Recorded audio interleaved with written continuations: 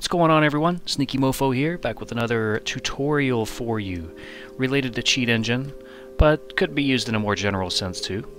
Basically what I wanted to show you is how to quickly find information on the Cheat Engine forum on something that you are interested in learning about. This is how I uh, sort of do research, if you will. Alright, so the first thing you want to do is go to Google and then type in the word site and then put a colon after it. And then type in cheatengine.org. Now this is going to make uh, Google's results show you only results from this site, from cheatengine.org.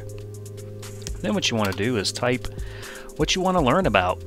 So let's say you want to learn to do like a no-clip hack or something like that. So then you provision for, you know, maybe variations of no clip. So one word no clip, and then you could say or.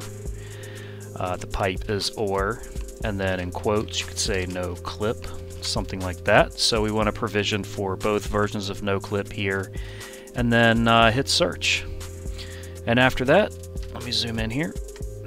Now you can go through results here and now this is just the beginning, so this is how you can find threads and things like that related to people talking about, you know, whatever it is that you are interested in learning about.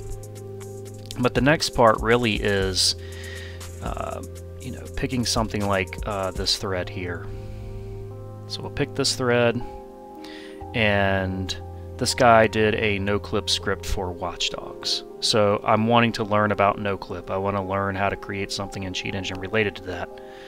So what you can get with people uh, is very different. Some things will be a lot easier than other things. So, you know, we'll go ahead and download his script. So I'll save that, and then I'll open it. And now that I have that here, I'm just going to double click on where it says script. I'll drag that into view here.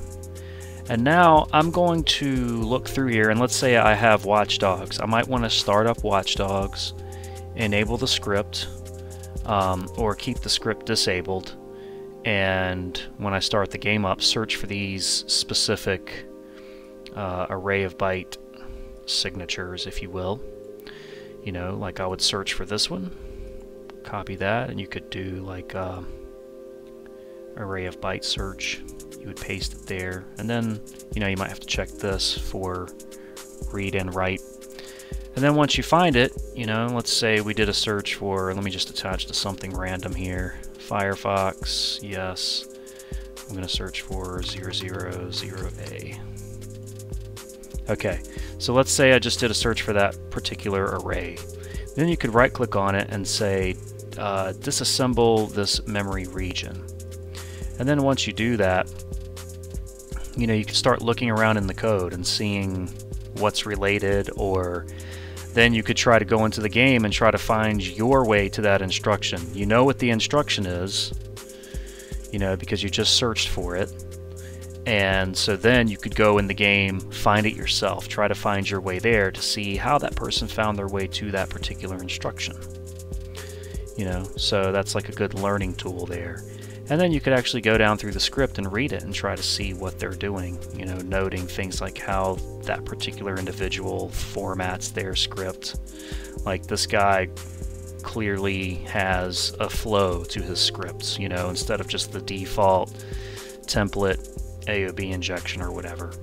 So, you know, this can help you pick up, you know, better ways of writing your scripts and you're sort of reverse engineering your way to see what they did. You know, this isn't something I recommend for, you know, you steal this person's cheat table and go make a trainer with it or whatever. You know, that's, I don't advocate that at all. This is just one of the ways that I like to learn about certain things. So, with that in mind, you know, you go back to your search results and there's a whole bunch of stuff here related to that, you know. So um, let's say there's something else you wanted to check out like DBVM. You know, so we've got about DBVM, we've got the Cheat Engine Wiki talking about DBVM, uh, how to load DBVM, blah, blah. You could look at the dates and see if something is more recent. and uh, Windows 10, DBVM, you know, and you can sort your results by date. Uh, let's see, search tools. Click on this, and you could say past month, past year, past week, whatever. Let's say past month. So here we go. Look, beginner's guide to DBVM. This was posted not that long ago, and uh, oh hey, look. so anyway, if there's anything you want to learn about with Cheat Engine, instead of waiting on someone to answer your question or whatever, just try something like this. Site colon cheatengine.org, type in what you want to learn about, and just get going from there. So, and this works great for anything you want to learn. If you've established there's a site that you know there's information on it that you want to pick something up from, you can do the same sort of thing.